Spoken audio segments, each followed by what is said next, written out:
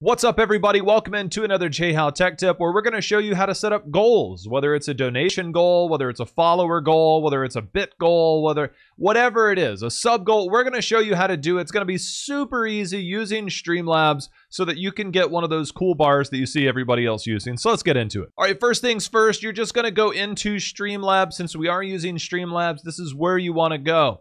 On the left side of the screen, you're to see all widgets. You're to click on all widgets and it's to bring up this page. So once you've logged in, got your Twitch account linked, you just come here and you go here. Now, this is a really easy process, but I understand some people don't really know how to go through the initial setup. So it's really easy. Let's say it's a donation goal. We'll start here. If you scroll down, you're going to see different things like follower goal, bit goal, and all kinds of different things, sub goal. And there's different ways you can utilize these, and they're pretty easy to set up. So let's assume that you're doing a donation goal. Let's say $50 donation, and maybe you'll wear a wig on stream. Who knows? Either way, here's where it's all done. Now, first things first, right in the middle here, click the show widget URL. We'll come back to this in a second. I'm not going to share it, but I'll show you guys here in a second. Okay? Doesn't matter what the title is. You can go here and you can say uh, cosplay goal.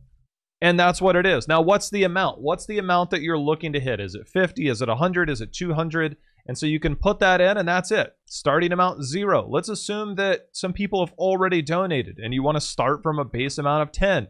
That's pretty easy to do. Then you put in your deadline. Let's say it's 11, 30,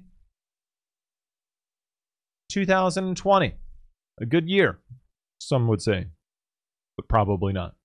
Anyways, now you can go here. That's pretty much easy. That's all you have to do is you can start the goal. There's a settings tab. You can go here and it's going to show you the default here. And you can see this is kind of what you're probably used to. You can do standard, you can do condensed. Depends on how much real estate you want to take up on your screen. You can set it there, my sample goal. There you go. It's easy as that. You can change the colors. You can do all the different things. You can change the thickness here and do all the different things that you want to do. And it's really that easy. You hit start goal, and that's it. Now, let's go to the part where how do I get it in OBS? How do I get this to show up? Well, it's quite simple, really. Click the show widget URL, not going to do that. Just going to hit copy, and then I'm going to go into OBS. Now, OBS has something called a browser source, and that's how you put in a lot of these things. It's kind of the same way as adding in sub notifications, all of the different things that you can do.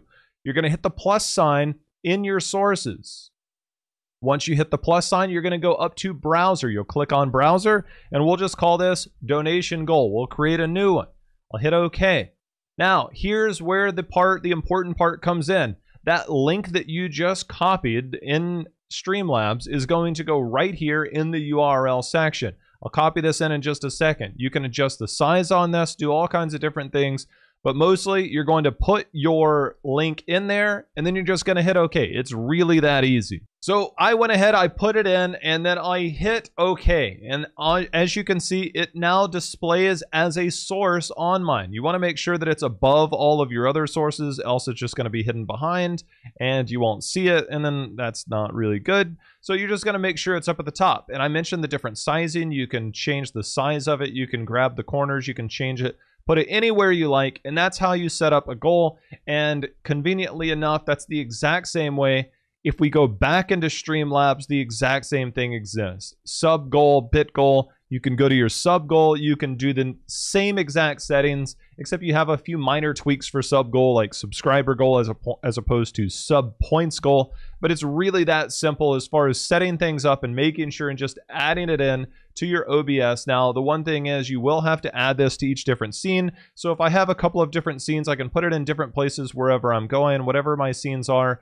I want to switch to a different scene, and then I go here, and then I can click on the plus sign, click on browser, and then this time I can just do add existing, hit donation goal, and then put it wherever I want, and just put it in different places in different scenes. And that's how you set up any type of goal through Streamlabs, whether it's a sub goal, donation goal, follower goal, whatever it is, it's really that simple. If this video helped you in any way set up your goals, feel free to hit that like button or leave a comment below letting me know what some goals that you have in mind that you're trying to set up and things that you're trying to achieve. Also, feel free to hit that subscribe button for future tech tips and other content as well, as it goes a long way to help the channel. If not, thank you all so much for watching. Appreciate it. Till next time.